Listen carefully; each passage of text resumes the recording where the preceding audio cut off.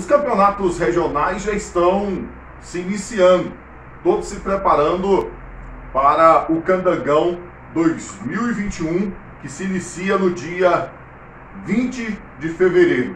Temos é, os grupos aqui do Campeonato Brasiliense 2021, com 12 clubes, quais vão cair quatro para a segunda divisão. Temos do grupo A Gama Real Brasília, Taguatinga, Lusiânia, Unaí, de Minas Gerais, e Samambaia.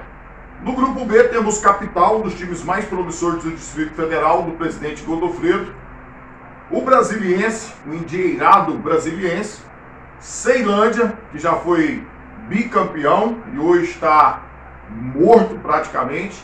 Temos Santa Maria, que teve o retorno com o Ricardo Antônio, ficou em segundo lugar, Samambaia ficou em primeiro no acesso. E temos também a equipe do Formosa, que ficou em sexto lugar no campeonato do ano de 2020. Tem o Marcelo e uma nova diretoria lá no Tsunami, a equipe da cidade goiana de Formosa. Portanto, campeonato Candango 2021 com um time mineiro, o Naí, dois goianos, o Lusiânia e o Formosa. Dia 20 de fevereiro começa as emoções aqui do nosso regional, do Quadradinho. E você confere tudo conosco na Fonte TV.